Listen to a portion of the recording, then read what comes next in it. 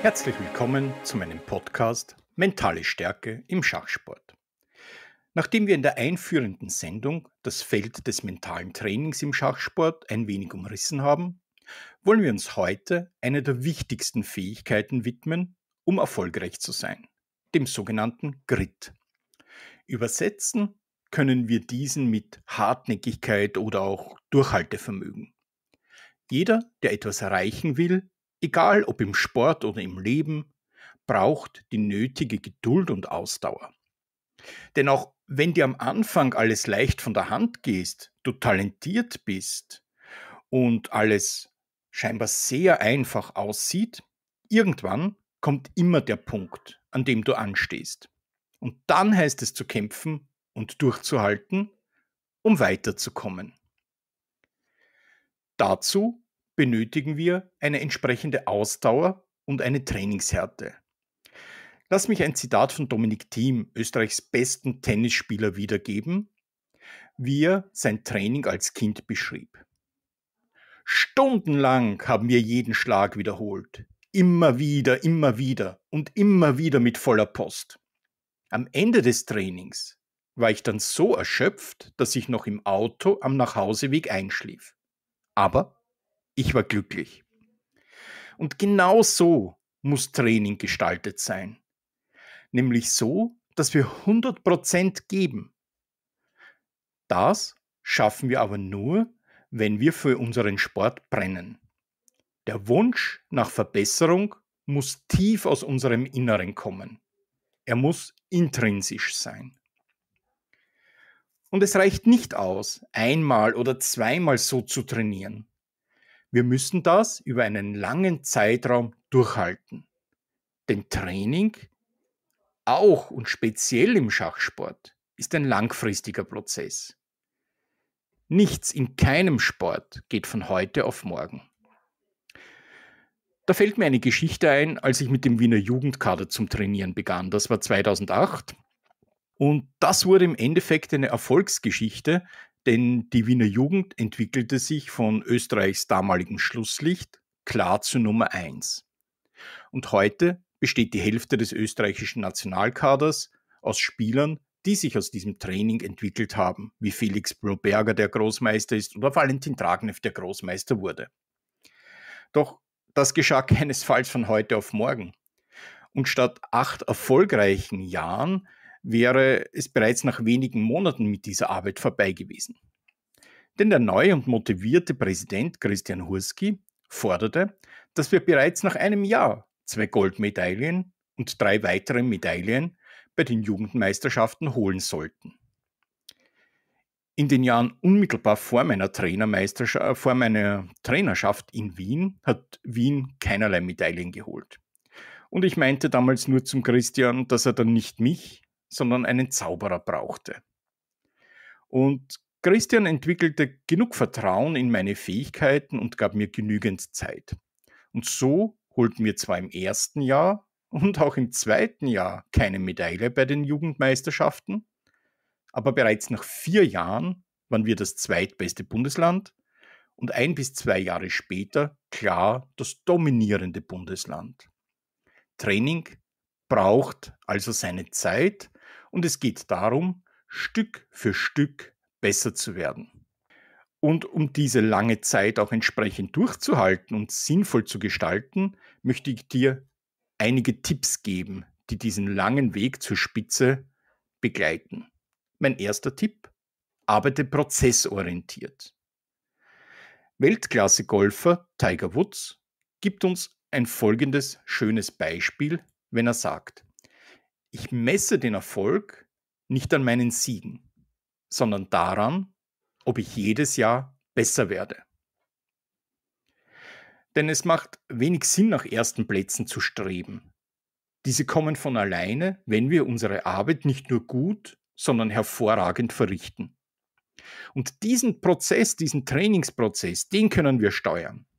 Also legen wir unseren Fokus darauf, den Sieger können wir nicht erzwingen. Da spielen so viele Umstände eine Rolle. Aber unser Training, das können wir hervorragend gestalten. Und natürlich ist das mühsam.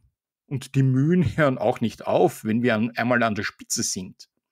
und wenn wir uns dort halten wollen. Das gibt uns auch die schöne Metapher aus dem Zen-Buddhismus mit.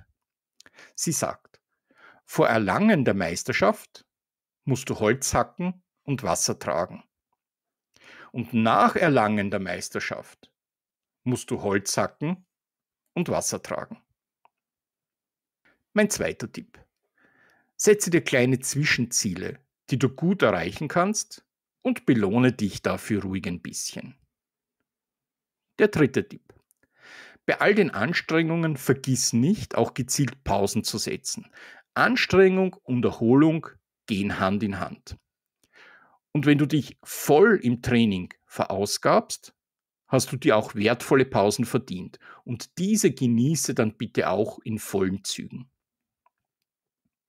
Tipp Nummer 4. Führe ein Trainings- oder auch ein Erfolgstagebuch. In der täglichen Arbeit übersieht man oft, wie viel man schon geleistet hat. Es ist also sinnvoll, ab und an innezuhalten und zurückzublicken. Doch das gelingt nur dann, wenn ich mein Training und meine Leistung auch entsprechend dokumentiere. Tipp Nummer 5. Stell dich darauf ein, dass Hindernisse immer wieder einmal auftauchen werden. Auch wenn im Moment scheinbar alles leicht von der Hand geht. Und das ist speziell im Schachsport wichtig zu verstehen. Denn beim körperlichen Ausdauertraining werden wir einen linearen Leistungsanstieg haben, vorausgesetzt, wir trainieren richtig. Aber nicht so im Schachsport. Im Schachsport steigern wir uns zunächst rasant, wenn wir über entsprechendes Talent und über entsprechende Liebe zum Spiel verfügen. Aber dann, früher oder später, kommt ein Plateau mit einer mühsamen und vielleicht auch mit einer lang andauernden Ebene. Und hier wirst du den Eindruck haben, dass nichts weitergeht, so sehr du dich auch anstrengst und so sehr du auch richtig und hart trainierst. Doch bedenke, dass im Schachsport nicht der Bizeps oder der Trizeps der ausschlaggebende Faktor ist, sondern eben das Gehirn. Und das Gehirn unterscheidet sich von den Muskeln. Wir müssen unser Wissen und unser Können im Schach auffüllen, bis eine kritische Masse erreicht wird. Und diese Masse muss sich auch entsprechend zusammensetzen. Und das benötigt seine Zeit. Und bist du hartnäckig genug, dann wird dieser Punkt auch bei dir kommen. Und dann kommt die nächste Leistungsexplosion ganz sicher. Und du wirst dich deutlich steigern und diese Steigerung wird so lange gehen, bis das nächste Plateau kommt. Und dann beginnt wieder das Holzhacken und das Wassertragen. Es geht von vorne los. Also gewöhne dich daran und lerne gerade diesen Prozess des Durchhaltens zu lieben.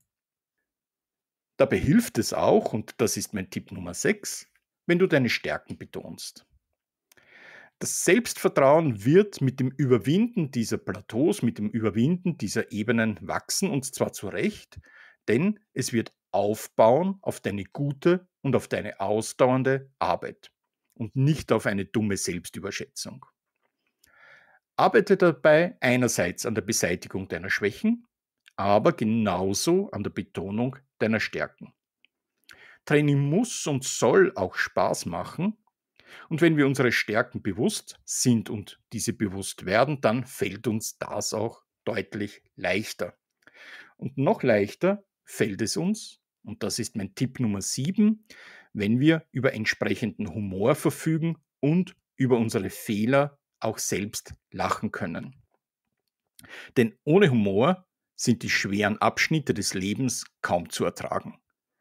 Humor macht die Reise durchs Leben und vor allem durch diese mühsamen Ebenen nicht nur leichter, sondern sie erweitert auch deinen Horizont.